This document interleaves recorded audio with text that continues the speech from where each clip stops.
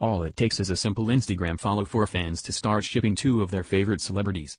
Last week, Zac Efron started following Selena Gomez, and fans immediately began to speculate about what it all means.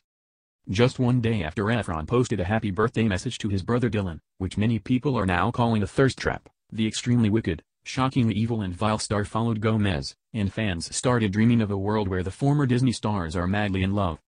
From the fandom perspective, an Efron-Gomez relationship makes perfect sense.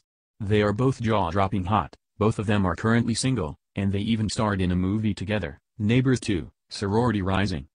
According to The Hollywood Gossip, the timing of Efron's follow is interesting because the day before he posted a pic where both he and his brother were shirtless, wet, and very muscly. Could there be an ulterior motive for Efron's social media behavior? Fans were so excited about Efron following Gomez that some even took screenshots of the moment. And, one even went so far as to Photoshop Gomez's face into a still shot from Efron's 2010 movie Charlie St. Cloud. Gomez hasn't followed Efron back, but that hasn't dashed fan hopes yet.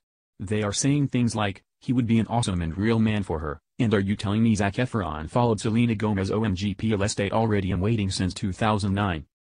In recent years, Gomez's relationship with social media has been as on again, off again as her relationship with Justin Bieber because of her health issues.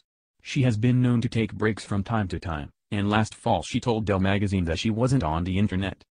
She also talked about not having Instagram or any other social media apps on her phone because it isn't real to her. And, she knows her voice is prominent, and she doesn't want to be careless. Gomez says that she is living her life the way that she wants to, and she enjoys taking time to be with her friends instead of wasting time on social media. So, maybe Selena Gomez hasn't had the chance to return the favor and follow Zac Efron just yet.